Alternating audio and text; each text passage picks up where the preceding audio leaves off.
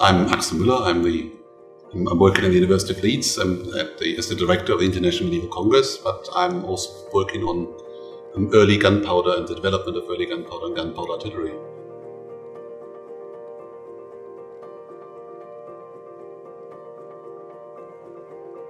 The manuscript that I'm looking at is the Royal Armouries Volume 34 manuscript, which is um, a very rare copy, the only one exists in the UK, and there's only about 70-ish copies of it in existence in the world. And the manuscript is uh, called a firework book or Feuerwerkbuch, or at least that's what it calls it in the text. And it's a book that describes the various different core stages, how to make gunpowder in very crude and very basic levels and ways. It has been not that much studied in the past. People were really um, more interested about the fact that the second part of it has got much more illustrations on, on it. And it's the big questions that I'm involved in is to see how much is it actually practically possible to, to recreate what is in there, how much can we understand what is in there. It's a text that's written in early New High German.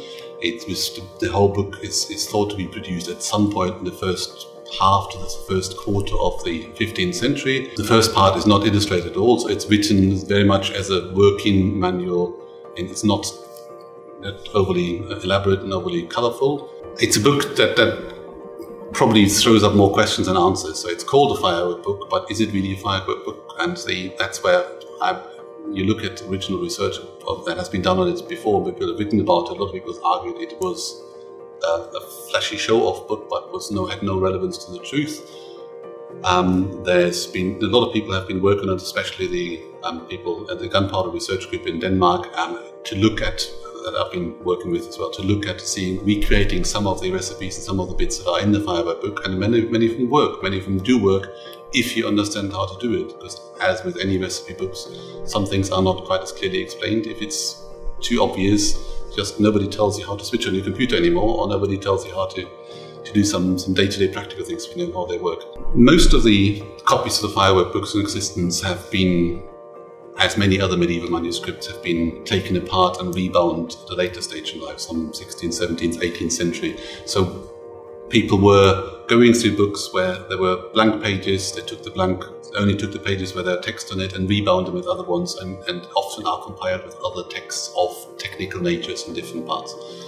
The, this firework book that is um, um, um, that we have has got a number of blank pages in there and also has got some different segments. First segment looks as if it was a kind of a standardized text.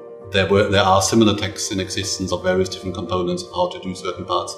And then there's a second part, which seems to be a bit more, it's definitely written in a different hand. Some parts are written on, on, on paper, which is has got the same watermark on it, so there's a, a continuation of the, the, time when it was written. But it was also writing, referring to the text before it and referring to the illustrations coming afterwards.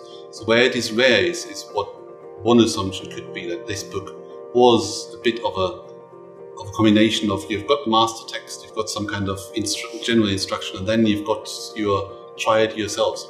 As you find with modern cooking books as well. So you've got some, some section where you can put your notes in there, you can put some examples in there, and then in order to some comments on how you can refer back to what the original text was. And that gives us a bit more of an insight of what these books might have been like, with the proviso that it could be just an oddity and it might be something totally different. But that's one of the theories that is we have at the moment. We don't know much about master gunners, what they were. We, there some some people have made some information. It was a new profession when, when art gunpowder artillery came into existence. We needed somebody to, to operate it. You need to have people who need to be willing to take risks because it was a dangerous business. You need to have people, as it describes in the firework book, that, in, that have got a certain disposition, certain ways they, they are they're not too, um, as, it, as, it, says even in text, they're not too prone to alcohol, and so that they are able to to to, um, to be moderate and to step away. Because if you're dealing with, with dangerous items, it's not a very good idea to be too, intoxicated, and and so, so it is it is something that was used for people who were involved in the business of um, gunpowder artillery in the practice in the 15th century. The first first few few pages are very very familiar, very traditional, and and so even for somebody who's not that literate, would then be able to see how these these texts work.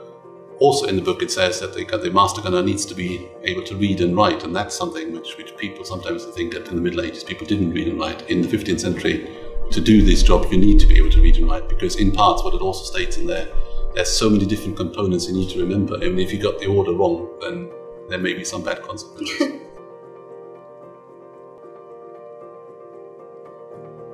it helps us a lot because it's it's the recipes give us some instruction uh, information about quantities, about mixtures, and some some ways of how to do it. And with through experimental archaeology, through through putting this into practice, through finding out how do these elements really give us um, a, a, how, how do they really in practice work together? Can we start making some assumptions? Because one of the big, big, big questions for any early gunpowder artillery questions is how efficient was gunpowder artillery in the 15th or the 14th or the 16th century, and how, because it was non-standardized and there, were a lot of factors involved in it, how pure were the raw materials, how much do people know about how to purify certain parts and make them pure, and how much did the external circumstances, for instance, if your powder was wet, it, couldn't work. How do you keep your powder dry? Which is a wonderful um, modern expression as well.